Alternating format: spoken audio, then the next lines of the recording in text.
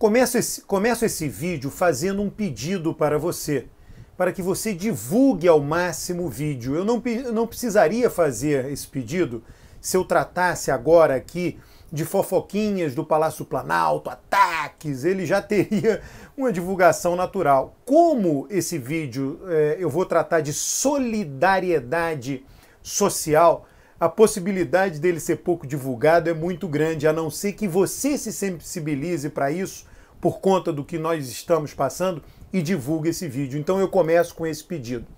E se inscreva no canal, curta o vídeo e comente o vídeo. Por que, que eu vou falar de solidariedade social? Porque nós estamos passando justamente um período que exige isto. Quando o Brasil passou por uma crise exclusivamente doméstica, qual seja a crise do racionamento de energia do segundo governo Fernando Henrique Cardoso, houve sim uma mobilização nacional. Uma mobilização nacional que foi, evidentemente, liderada pelo governo. O nível dos reservatórios da região centro-sul, do sudeste, principalmente Minas Gerais, diminuiu bastante. E o Brasil, eh, se a população e a indústria, enfim, se não tivesse havido um esforço nacional de economia de energia, o país teria. O país passou sim por uma crise.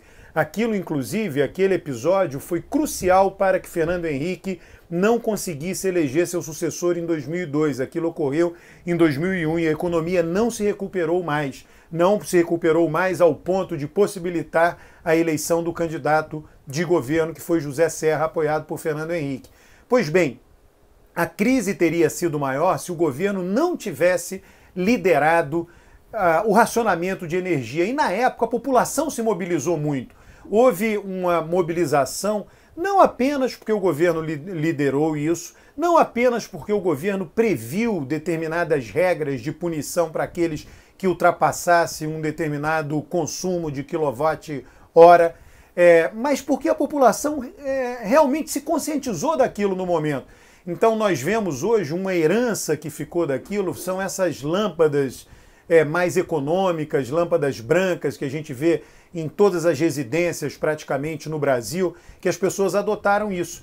É, não, é claro que depois volta o consumo que era antes do racionamento, mas houve um esforço coletivo, a população se empolgou, a população foi às ruas, na época teve falta de, de lâmpadas econômicas, enfim, todo mundo agiu. Me recordo que em casa, é, eu, eu havia casado há pouco tempo, nós passamos a utilizar velas. É, houve um esforço, as pessoas se sentiram parte de um todo, de uma nação, um ajudando a outra, e isso é importante. Vários países tiveram uma profunda experiência de guerra.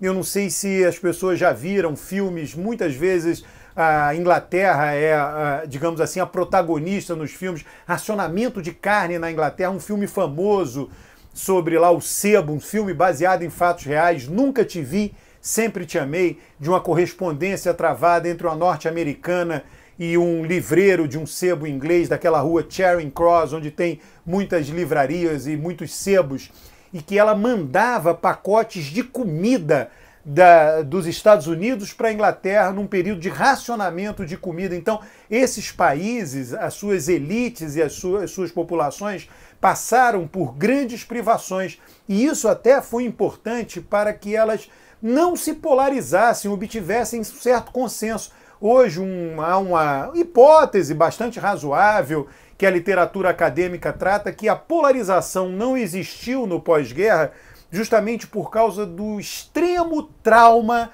da Segunda Guerra Mundial. Aquela foram os anos de chumbo, nazismo, fascismo, a repressão do comunismo, anos de chumbo com muitas pessoas mortas, perseguidas por nada, por disputas é, ideológicas, por disputas de ideias, muitas vezes.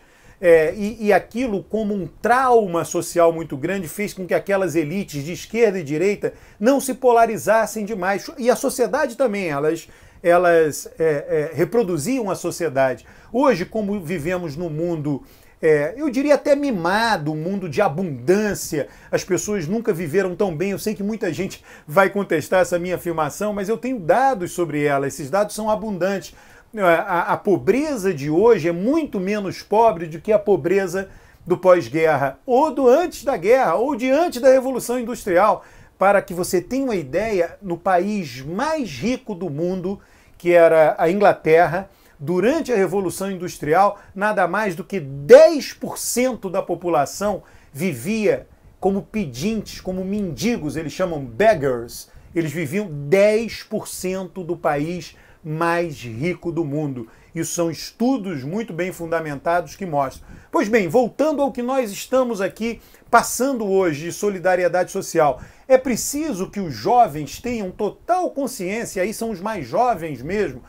Na Itália, por exemplo, até agora não tem registro de nenhuma morte de pessoas com menos de 30 anos.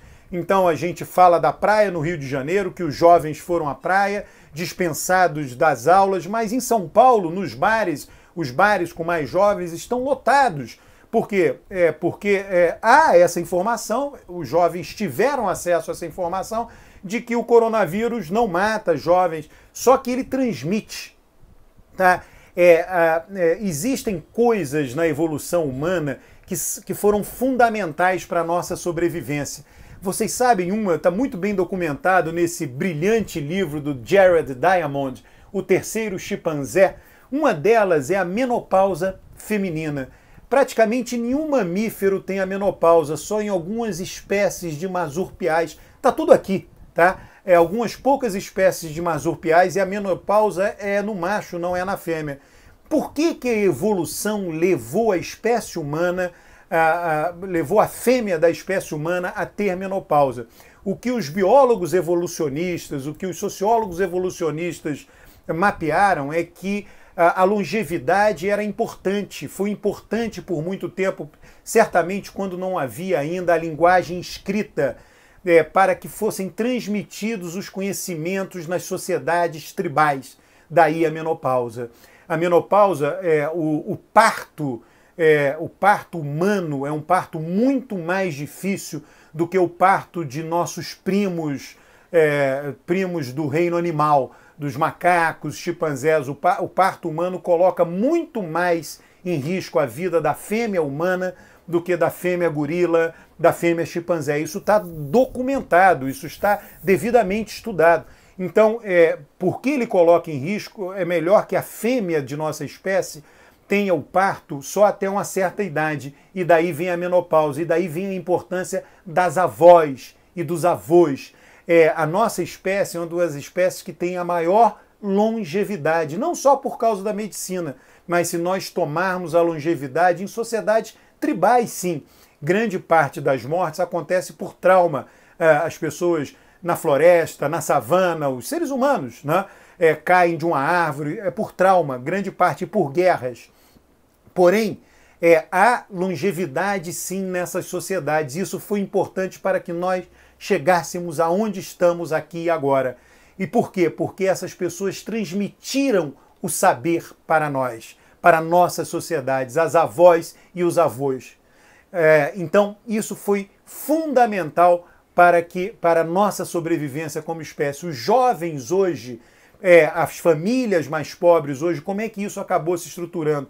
Famílias é, com menos recursos, não só com menos recursos, mas nas sociedades nossas latinas, é, avós e avós cu cuidam das crianças enquanto pais e mães trabalham. Isso faz parte da vida, da solidariedade. Então, nada pior do que pessoas é, mais idosas ficando doentes para a estrutura inteira da família. Por isso que nossos jovens precisam sim ser solidários no momento do coronavírus, eles precisam ser solidários com relação à possibilidade de transmitir a doença para os idosos, para os mais velhos, para os avós e para as avós.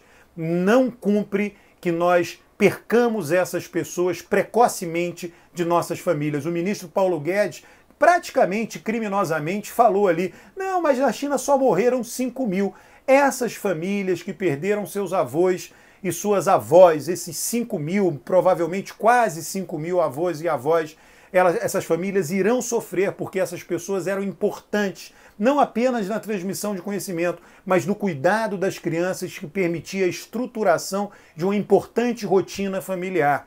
Então, eu estou trazendo aqui é, argumentos muito racionais e materiais, porque todos vocês, todos nós já conhecemos os argumentos também afetivos e emocionais. Gostou do vídeo?